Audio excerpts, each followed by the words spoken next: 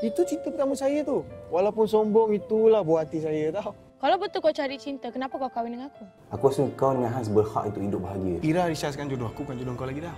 Saya awak kena terima hakikat yang kita ni dah kahwin dah. Saya ni memang nak sangat pengemis tu dengan anak saya bercerai. Saya tak ketinggalkan Ira tau. Ini amanah Allah untuk saya tau.